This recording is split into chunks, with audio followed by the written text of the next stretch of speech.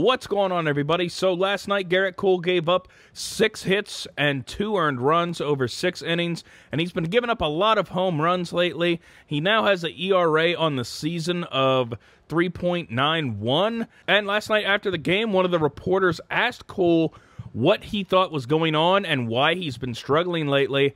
And he was quoted as saying, Whenever I'm over the plate, the hitter's very certain of what's coming.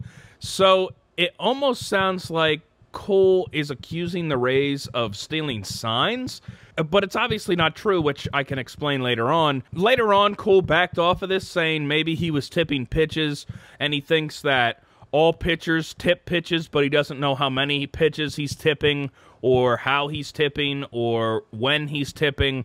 And he also said, uh, quote, maybe they're putting good swings on good pitches, which brings us into the video of the home run. So let's start with Ji-Man Choi's home run. I have a screenshot of the home run of Ji-Man Choi right after he hit it. And you can see Ji-Man Choi is way out in front on this pitch. So he obviously didn't know Cole was going to give him a changeup here. He was looking fastball. And this home run is just a product of Yankee Stadium. Gerrit Cole really doesn't complain when the Yankees are hitting home runs for him and giving him run support over the short porch in right field.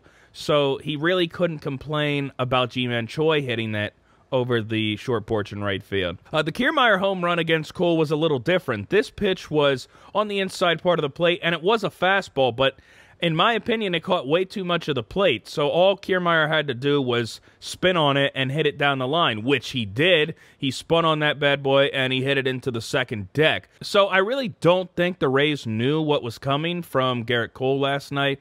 You could probably argue that Kiermaier could have, but if they all knew, then why was Ji-Man Choi off balance on a changeup? I mean, if the Rays are actually stealing signs, or if Gerrit Cole's tipping his pitch, so the Rays know what's coming, which I don't think is the case. I have absolutely no empathy for Gerrit Cole. I mean, he was just on a team that was in the World Series because for three years they have been stealing signs and terrorizing the rest of the league's pitchers. So, um, are we really going to feel bad if Gerrit Cole starts becoming a victim of that same nonsense? I know I certainly won't be. In all reality, I think the Yankees are going to regret this Gerrit Cole deal.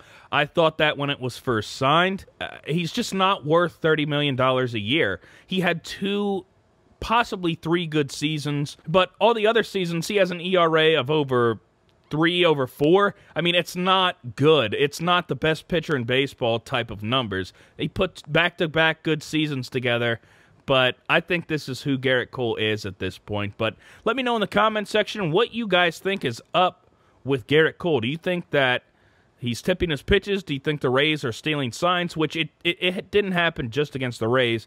It happened against the Braves as well the last time he pitched. So that's all I have for this one. Thank you so much for watching. And until next time, peace.